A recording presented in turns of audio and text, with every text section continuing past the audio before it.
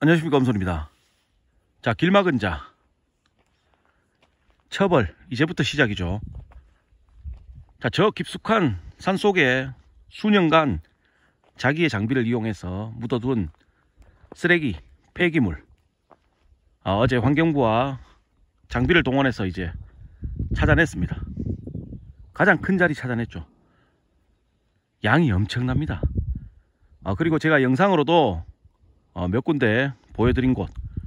육안으로 드러나는 곳만 해도 다섯 곳. 어, 자기만의 성을 자기만의 왕궁을 아 쓰레기로 만들어 뒀는 곳. 참. 자 이제 여러분 처벌 시작입니다. 자 쓰레기 그리고 폐기물은 어, 환경부에서 이제 잘 처리를 하는지 안 하는지 우리가 지켜보면 되겠죠. 아, 환경부에서 이제 경찰로, 검찰로 어, 이렇게 함께 수사를 할 겁니다. 양이 엄청나요. 자, 그리고 이제 2차 작업. 불법 성토. 산지법. 자, 불법 절개 성토.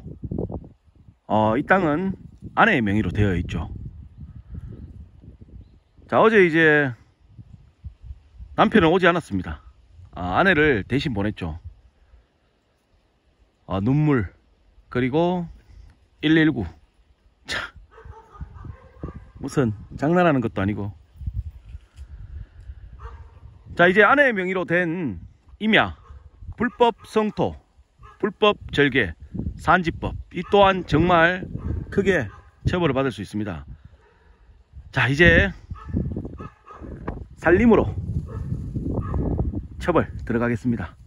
여러분 함께 응원하고 지켜봐 주십시오. 감사합니다.